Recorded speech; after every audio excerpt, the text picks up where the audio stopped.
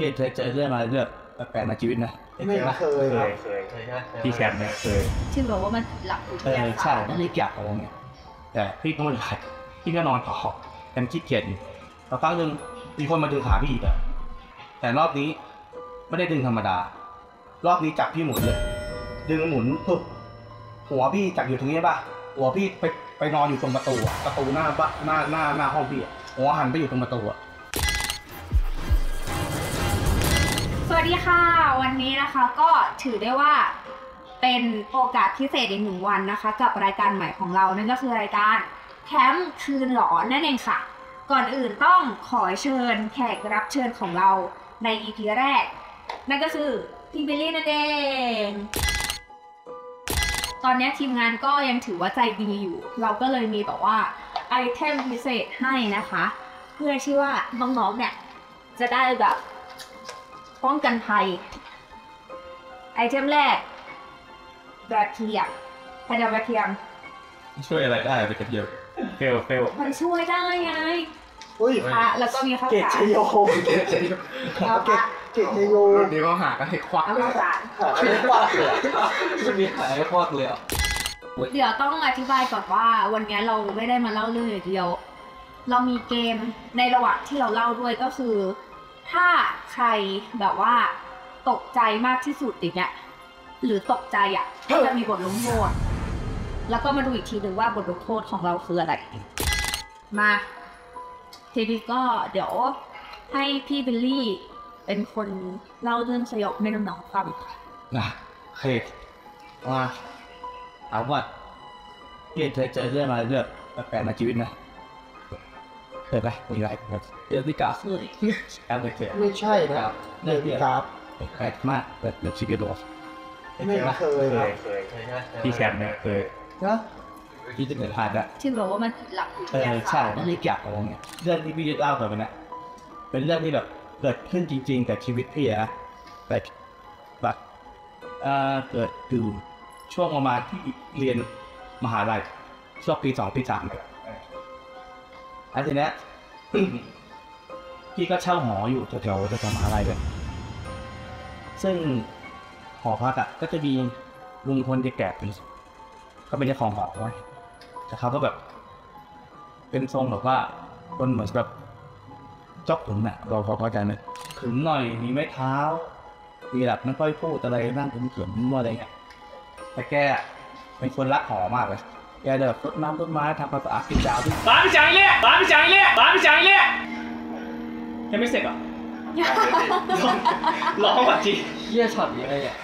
ร้องก่อนจีนะคิวนะโคตรนี่เลยอะตกใจมากเชี่ยตกใจเลยเชี่ยวะไอ้เชี่ยเชี่ยวะ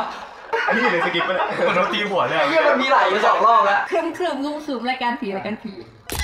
โอเคอะต่อนะ ก็ลุงแกก็เป็นคนที่แบบรักหอมาก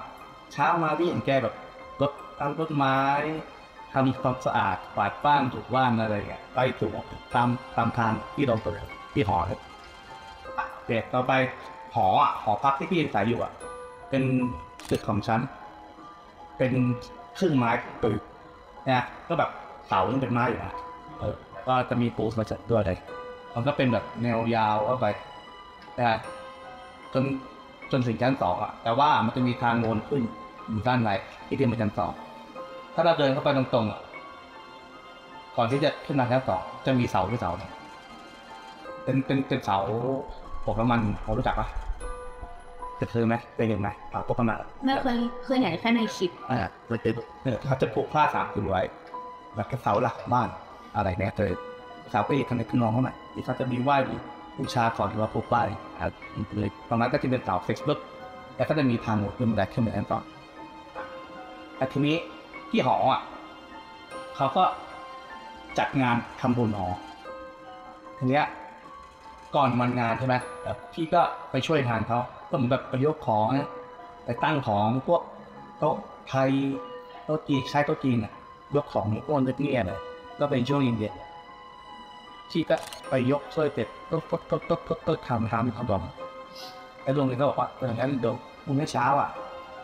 ขอแรงพี่หน่อยให้มาช่วยตอนเช้าด้วย เพราะจะมีแขกมาอะไรก็ต่างซึ่งหลังจากนั้นเสร็จปุ๊บพี่ก็ขึ้นห้องห้องก็จะอยู่ชั้นสองอะห้องพี่จะเป็นแบบห้องเป็นห้องแบบสี่เหลี่ยมปกติแรกจะมีห้องน้ำในตัวใช่ไหมพี่อะจะนอนจะนอนอยู่ประมาณเนี้ย แล้วก็ตรงเนี้ยข้างหน้าพี่จะเป็นประตูท้ายบริพี่จะเป็นห้องน้ำอะแล้วก็ข้างๆประตูจะเป็นโทรทัศน์ตั้งก็โอเคช่วงประมาณ ตีสี่หลังจากพี่นอนแล้วนะช่วงประมาณตีสี่ตีห้าก็คือเป็นช่วงเวลาที่แบบเขาจะลุกมาเตรียมงานเตรียมของอะไรอย่างเงี้ยแต่ในตึกอะยังเงียบอยู่เขายังไม่ได้มาปลุกทีเนี้ยช่วงตีสี่ตีห้ามีคนมาเคาะห้องดีใครสั่งข้าวมีข้าวมาส่งอะ เออ เดี๋ยวไปกิน ข้าวอะประตูจริงเหรอเอ้ย มีคนมาเคาะห้องพี่นะแล้วนี่ก็รายการตลกวะมีคนมาเคาะห้องพี่ อะ แล้วทีเนี้ย พี่ก็งงเงียเลยใครเคาะห้องวะเรียกไปกันว่าเลยแต่พี่ก็รู้แหละแต่พี่ก็รู้แหละว่าว่าลุงอะเขาจะต้องมาเคาะมาเรียกอะไรแต่พี่ก็เปิดประตูไปดูนั่นแหละประเด็นคือพี่ไม่เจอใครเลย ไม่เห็นใครเลยสักคนพี่เปิดประตูออกไปพี่ก็บอกแบบเดี๋ยวค่อยลงมาแล้ววะไง พี่ก็เลยเปิดประตู แล้วก็เดินไปเดินไปเดินลงบันไดไปแล้วก็ไปตรงบ้านไปหาลงไปถามลุงมันเรียกผมว่าลงเขาบอกเปล่านะมึงยังไม่เรียกอะไรเลยยังไม่ได้เรียกกูยังไม่ได้ไปขึ้นไปเลยมึงไม่ได้ไปตรงนั้นเลยก็บอกอะหัวลงแต่พี่ก็ไม่กล้าพูดไงว่าเกิดอะไรขึ้นเนี่ยว่ะพี่ก็ยังไม่แน่ใจหรืออะไรอย่างก็เลยไม่กล้าพูดแต่ทีนี้ลุงบอกว่าเออพี่ตอนเช้าอะ ไม่ต้องมาช่วยแล้วนะมีมีมีมีคนมาช่วยแล้วตอนเช้าก็ไม่ต้องมาเลยแบบไปรอกินอาหารเลยแล้วกันช่วงก็ช่วงแบบสายหน่อยอะก็ตื่นมาทีวันเช่นเยี่ยกลับเดินขึ้นห้องไปเดินเดินขึ้นห้องเลยเข้าห้องไปก็เป็นนอนฟังแล้วทีเนี้ยยิ่งนอนไปเรื่อยๆจนถึงประมาณช่วงเก้าโมงเช้ามันก็แบบได้เวลาที่แบบว่า เขาเริ่มมีงานแล้วก็แอบงานมาตีก็ได้พี่นอนอยู่เฉยๆว่ะมีคนมาดึงขาพี่ดึงแบบกระชากกันนะดึงแบบทีนึงพึ่งก็คือตัวพี่สไลด์ลงไปเลยพี่ก็พี่ก็สะดุ้งตื่นปุ๊บเฮ้ยอะไรวะใครดึงขากูวะแล้วพี่ดึงตามมาก็ไม่เจอใครครับก็ไม่เจอใครพี่ก็อะไรวะเยอะแต่แปลกๆเว้ยสองรอบแล้วพี่ก็นอนต่อพี่ก็ไม่ได้เครียดอะไรเพราะว่าเชื่อขี้เกียจอยู่ อะพี่ก็นอนตอนสิบโมงทีนี้ลุงอะเขาก็เดินมาเรียกพี่บอกนิ่งลงไปกินอะไรได้แล้วนะอาบน้ำอาบน้ำเอาผ้าก็เตรียมไว้หมดแล้วอะไรอย่างเงี้ยบอกโอเคครับลุงเดี๋ยวผมลงไปนะแต่พี่ก็ไม่ได้พี่ก็นอนต่อยังขี้เกียจอยู่พอเลยทีนี้พี่ไปนอนต่อไป จนช่วงประมาณสิบเอ็ดโมงเช้าแน่นอน แล้วครั้งหนึ่งมีคนมาดึงขาพี่อีกอะช่วงสิบเอ็ดโมงนะมีคนมาดึงขาทีหนึ่งพึบเหมือนตอนแรก แต่รอบนี้ไม่ได้ดึงธรรมดา รอบนี้จับพี่หมุนเลย ดึงหมุนพึบหัวพี่จับอยู่ตรงนี้ป่ะหัวพี่ไปไปนอนอยู่ตรงประตูอะประตูหน้าบ้านหน้าหน้าหน้าห้องพี่อะหัวหันไปอยู่ตรงประตูอะเออพี่ก็เลยจะลุกตื่นเฮ้ยอะไรวะ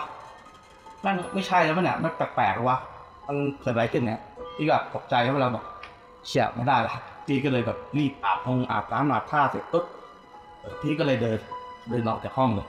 แล้วก็ลงไปกินข้าวขึ้นไปแล้วทีนี้พี่ก็นั่งกินอะไรปกติของพี่แบบปุ๊บจนงานก็ใกล้เลิกแล้วอะไรเงี้ยต้องเก็บต้องเก็บของทีแรกอะพี่สงสัยอะว่ามันเกิดอะไรขึ้นเออพี่ก็เลยแบบตั้งใจถามเลยลุงมีอะไรไหมเนี่ย ที่ตึกลุงบอกว่าจริงเจออะไรบอกมีคนมาแบบเหมือนแบบมาดึงมาเรียกอะไรทุกอย่างผมก็บอกอ๋อไม่ต้องตกใจลุงให้เขาไปเรียกเองอะไรวะผมก็ไหนอะไรที่บอกไปอะคืออะไรอะข้าวข้าวเออเออลุงลุงให้เขาไปเรียกเอาไปไม่คนไม่ได้ขับสิใช่ บอกพี่ว่าเออจะ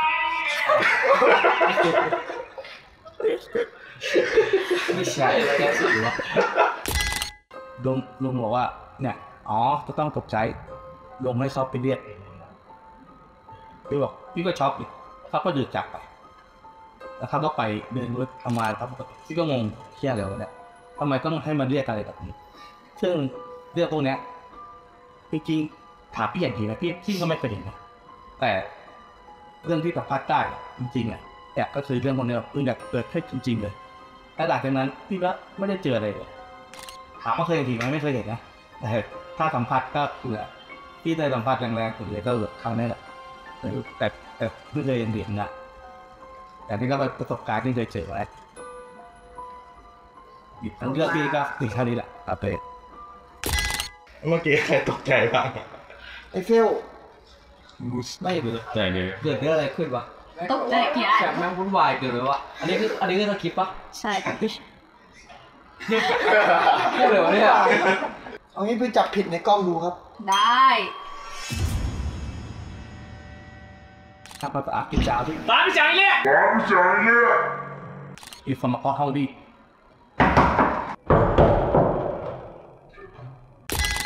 และคนที่โดนลงโทษ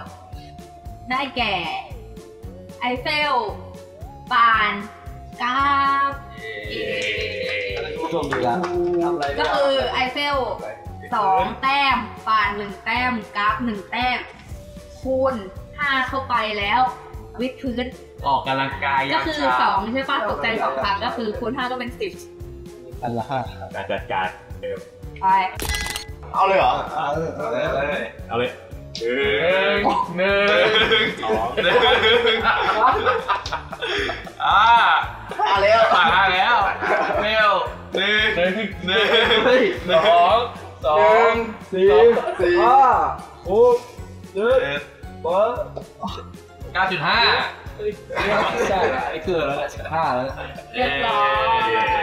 ยฝากติดตามรายการแคมป์คือหลอด EP หน้า ว่าเราจะมาหลอนในรูปแบบไหน เดี๋ยวฝากน้องยอดนะคะ ก็ฝากติดตามพวกชาปื้อมาแล้วด้วยนะครับในรายการ ADL สปิดสองครับ ขอบคุณค่ะบ๊ายบาย